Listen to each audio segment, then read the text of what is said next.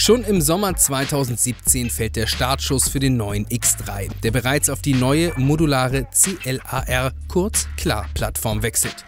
Klar verspricht neben deutlichen Kostenvorteilen auch mehr Effizienz dank Leichtbau und sparsamere Antriebe. Im Gegensatz zum X4 soll der nächste X3 ab Ende 2019 als Plug-in-Hybrid vom Band rollen.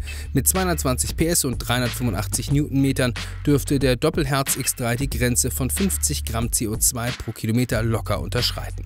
Vollgetankt und mit vollen Akkus darf man mit einer Reichweite von 550 Kilometern rechnen.